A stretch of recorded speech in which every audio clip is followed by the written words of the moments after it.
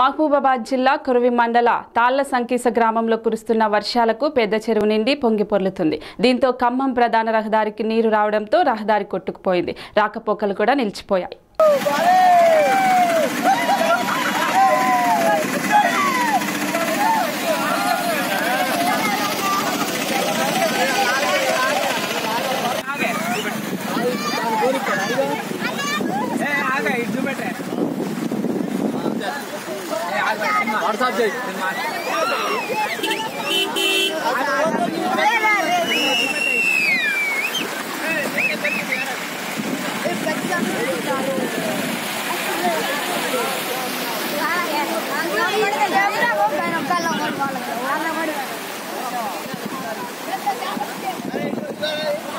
మనకే దొరికిందిరా అది మనకే